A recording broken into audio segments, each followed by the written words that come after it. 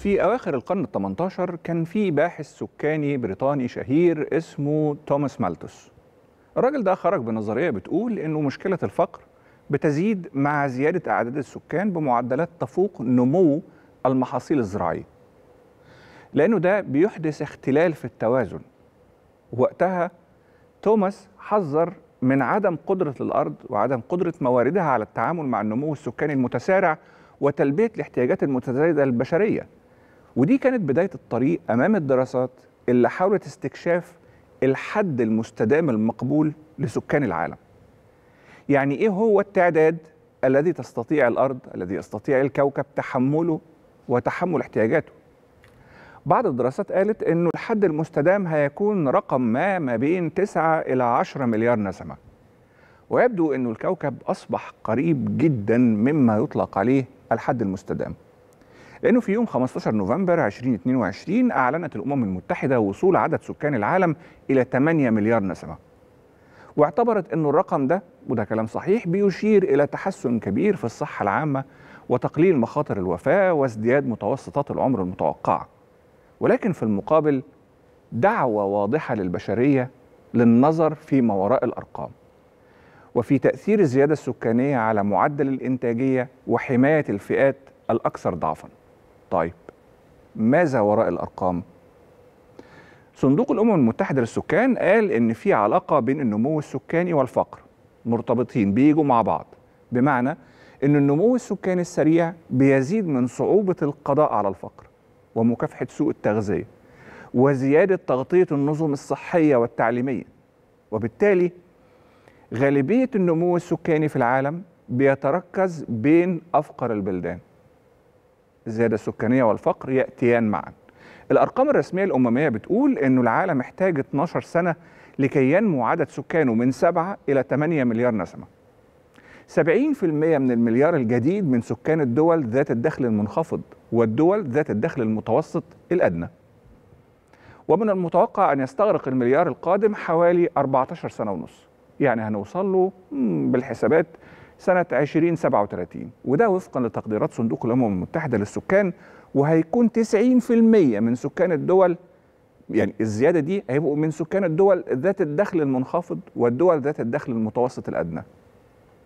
وبالتالي ما وراء الأرقام هو إن النمو السكاني المرتفع بيتركز في الدول ذات الدخل المنخفض وإنه الزيادة السكانية بترتبط ارتباط وثيق بالأوضاع الاجتماعية والاقتصادية. وبتؤثر بصورة مباشرة على جهود المجتمع في مختلف مجالات التنمية والمفارقة هنا إن ثلثي سكان العالم بيعيشوا حاليا في بيئة منخفضة الخصوبة في حين إنه أصبح النمو السكاني بيتركز بشكل متزايد بين أفقر بلدان العالم ومعظمها في أفريقيا جنوب الصحراء الكبرى. وبالتالي تمثل هذه الزيادة السكانية في أفقر مناطق العالم عائق رئيسي أمام التنمية. هذه الدول يمكن أن تكون أفضل حالا مع نمو سكاني ومعدل مواليد أقل. والفرضية دي ثبتت صحتها في اقتصاديات النمور الشرق اسيويه بما فيها كوريا الجنوبية وتايوان اللي شهدت في العقود الأخيرة زيادات سريعة في نصيب الفرد من الدخل القومي في ظل تراجع معدلات المواليد. ده نفس الكلام اللي قلته من شوية. وطبعا المثال الأبرز في آسيا هو الصين. الصين انفردت باتخاذ إجراءات حادة وطبقتها بطريقة صارمة أحيانا لم تكن إنسانية وكانت نتيجة ده حدوث تحول أكثر سرعة في خفض معدل المواليد. في الفترة من 1960 ل 1980 ارتفع عدد سكان الصين حوالي 51% لتكسر حاجز المليار نسمة سنة 1980 بعد أن كان عدد سكانها في 1960 حوالي 660 مليون نسمة وهنا كانت نقطة التحول هنا كانت الوقفة. الصين خدت قرار حاسم وطبقت عدد من السياسات على رأسها سياسة الطفل الواحد. كانت النتيجة المباشرة لهذه السياسات هي خفض معدلات الزيادة السكانية في الصين لتصل إلى 29% خلال الفترة من 1980 إلى عام 2000 ثم إلى 11% فقط خلال الفترة من سنة 2000 ل 2020 ده انعكس بشكل مباشر على زيادة متوسط الإنتاجية. مجلة أريبيان بيزنس نقلت توقعات عن الأمم المتحدة بتقول أنه هتتركز غالبية الزيادة السكانية بحلول عام آه، 2050 في 8 دول.